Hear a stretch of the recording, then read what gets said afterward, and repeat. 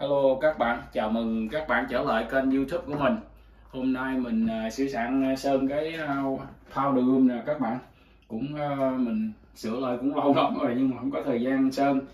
Bữa nay mình chăm tranh thủ có thời gian mình sơn cho rồi hết. À, Mời các bạn theo dõi mình nha. Cái powder room của mình hồi xưa cái powder top á, thì có uh, chút xíu à Mình thay cái mới nè. Mình làm dài qua tới bên kia luôn chứ hồi xưa nó có cái uh, mình bỏ cái miếng trim ở trên nè. Bây giờ mình lấy ra rồi. Cho nên nó có cái dấu mình phải sửa rồi mình phải chét này nó bằng mấy cái này á mình phải đóng giấy nhám cho nó đều lại hết. Mình nói trơn không có dấu. Đánh sơ sơ thôi lúc mình chét nó mình chét ít á thì nó sẽ à, không có dấu nhiều. Đánh giấy nhám xong rồi nè các bạn. Bây giờ nó bụi dưới dưới nè bây giờ mình đi hút bụi thêm nó xong rồi cái mình lao một cái nữa mà mình sơn. Nè, bụi quá trời cái gì nó đụng vô cái này bụi quá. À, bây giờ mình hút bụi nè các bạn. Hút bụi quá trời.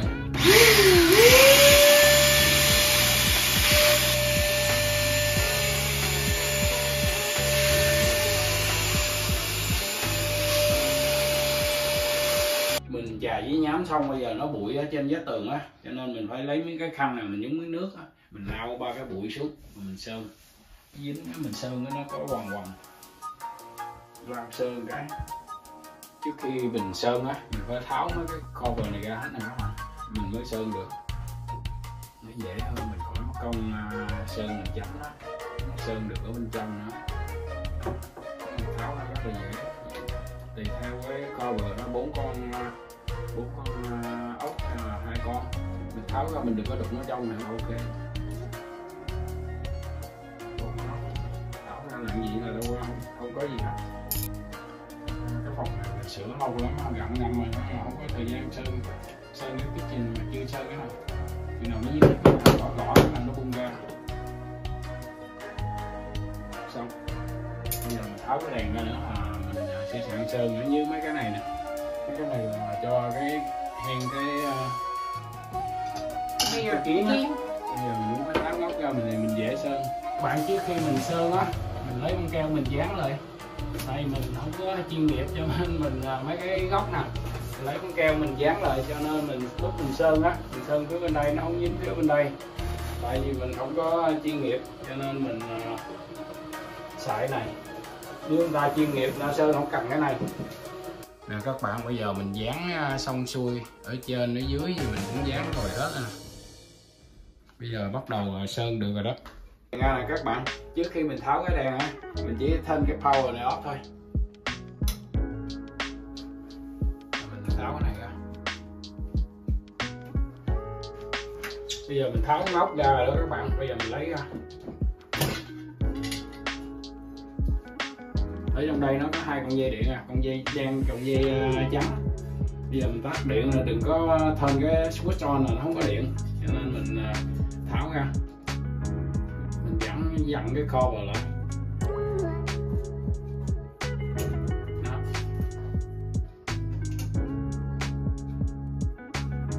như vậy đó mình sơn nó dễ. Các bạn trước khi mình à, sơn á, mình sơn mấy cái à, góc trước. Mình sơn nó là cho nó chừng có khoảng một inch á. Tại mình cái vô là mình vô không có được vô trong. Cho nên mình sơn cái góc trước này. Các bạn mình sơn mấy cái góc rồi đó.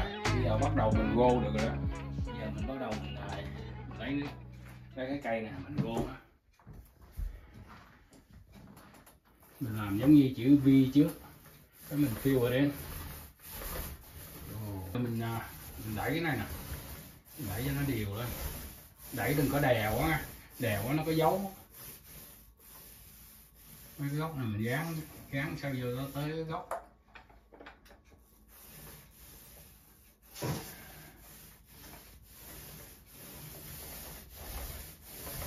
Đây là nước sơn sơn lần đầu first coat đây là mình sơn hai lớp. Nè các bạn, mình à, mới sơn xong cái powder room rồi đó các bạn. Sơn được à, cũng mấy tiếng đồng hồ.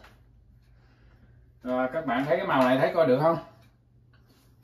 Màu này giống như cái màu à, nhà bếp của mình á. Mình sơn bỏ mình sơn bỏ nó còn dư mình sơn đây luôn. Bây giờ cái phao đường đã xong hello các bạn.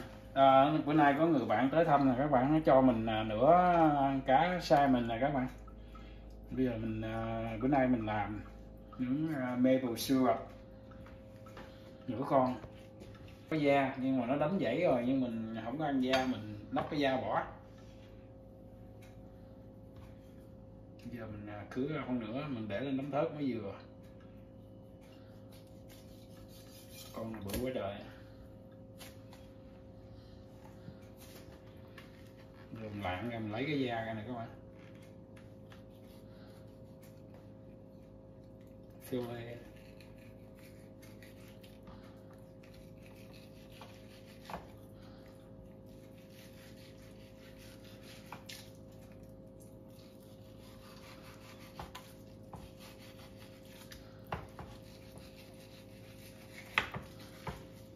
Ăn rồi, lấy 10 miếng da ra.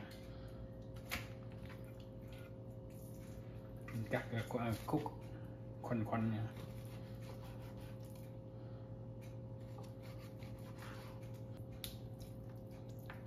Xong. bỏ lên chút mình ướp. Miếng hồi nãy là cái, gần cái đuôi, miếng này ở trên nè, miếng này ngon nè, dày. Quá trời.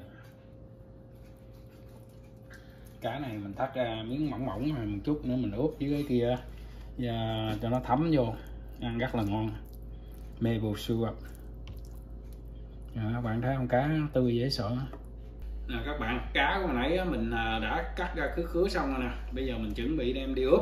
Mình làm cái nước sauce này á nó kêu bằng à, maple syrup cái à, bạch nha của cây maple á bây giờ mình chế à, cái uh, gia vị ra mình ướp cái này. Thì mình gồm có tỏi nè với bơ với cái chấm nhất của nó là maple syrup với nó cộng thêm cái uh, honey master. Cái này thì bỏ vô nó the the cay cay. Mình thì cộng thêm kari nữa là các bạn. Với uh, dầu mình bỏ thêm một mớ dầu hào. Với chút xíu bột nêm vô. Bây giờ mình phải đi uh, hít cái này cho cái bơ rồi cho nó meo rồi mình mới hòa chế mới được. Các bạn à, nửa con cá mình à, làm gần à, quarter butter. Melt it. chứ mình bỏ thêm một à, chút xíu tỏi vô không cần nhiều chút xíu tỏi thôi chứ mình bỏ một mớ à, một muỗng dầu hào vô mình bỏ cà ri vô cho nó thơm bỏ cái chừng muỗng cà ri vô A spoon of curry. A spoon of curry. A spoon of uh, so oyster sauce. chứ mình bỏ honey mustard Honey mustard. cũng một muỗng luôn A spoon too.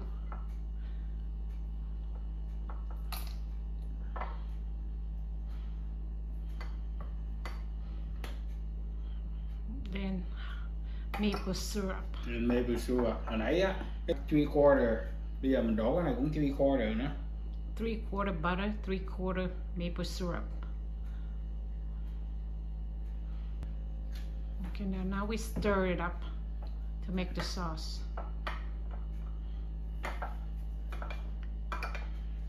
bỏ chút xíu bột nêm vô nữa a little bit of chicken broth. nửa muỗng rồi Half of coffee spoon. one spoon of uh, soy sauce Uh, Maggi soy nước sauce tương một muỗng nước tương nữa to make it smells nice and balance it out. The raw may. A spoon of Maggi sauce. xong. And then just keep stirring up. này mình đem đi nướng nha các bạn. Bây giờ mình bỏ cá vô. Bỏ cá vô cái tray cái mình đổ cái sauce vô cái mình uh, cho nó thấm qua cái sauce. Nướng rất là mau chỉ trong vòng 15 phút thôi. Là ăn được rồi.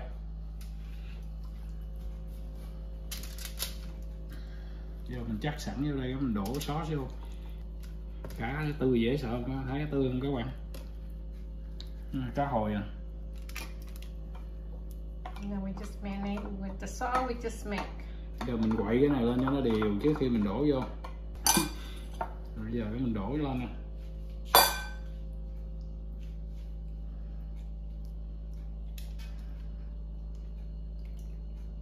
Nó đều hết kagi vô thấy nó vàng như sợ hả? Thường thường mình nướng không có bỏ kagi. Bữa nay mình bỏ kagi vô thêm. Có cái mùi kagi nữa. Mình bỏ cái à, honey mustard vô là nó cũng vàng nè.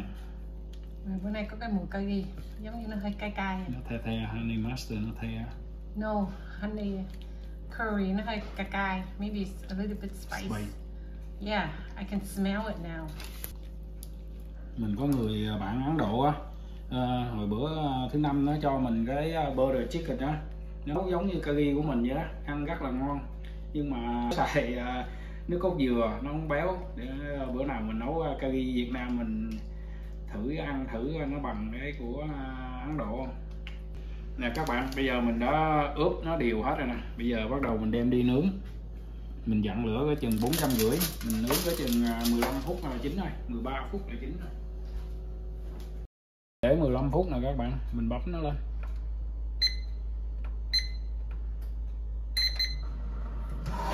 Bây giờ mình nướng xong chút xíu á các bạn mình đem nó ra. Cái mình vớt cái sauce mình đổ lên trên cho nó cho nó đừng có khô cả mặt. Bữa nay có curry nó vàng vàng ha. Mustard nó không có làm đậm gì là các bạn mình nướng à, cá xong rồi nè, các bạn. Chứ mình đem ra trước khi mình ăn á, mình lấy cái à, cái sốt mình đổ lên cái mặt cá là cho nó, đừng có bị khô. Cho nó đừng có khô. Tại mình đứng lửa cao á, nó mau dễ bị khô cá lắm. Món này làm rất nhanh. Đi làm về mà muốn làm ăn liền á cái chừng 15 phút là có đồ ăn ra liền nó còn à, chín trước hơn nó nấu cơm nữa. Cơm chưa chín với cá chín rồi. Mời các bạn ăn à, cơm với mình nha. Ăn thử miếng cá ha.